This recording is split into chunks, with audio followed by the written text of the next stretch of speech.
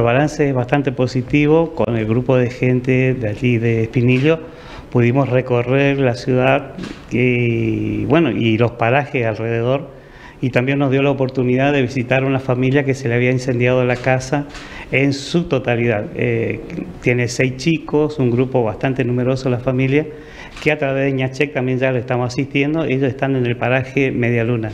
Por ahora lo que estamos haciendo lo más directo es eh, estamos haciendo un censo, un relevamiento casa por casa de todas las personas, pero también estamos detectando los niños que son de bajo peso, los niños que eh, son celíacos y los adultos mayores que tienen problemas de salud.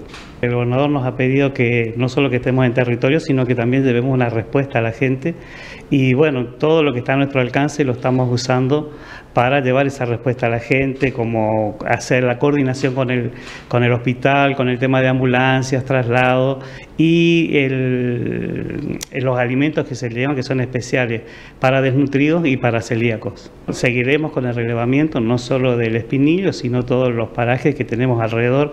Es un territorio bastante extenso y estamos trabajando con un grupo de gente que está preparada, que son de la zona.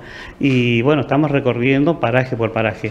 En el impenetrable casi todos son vulnerables. Hay mucha necesidad, falta de agua, falta de higiene, eh, falta de alimentos. La verdad que es bastante por recorrer, pero bueno, lo importante es que se está asistiendo y que se está eh, controlando caso por caso.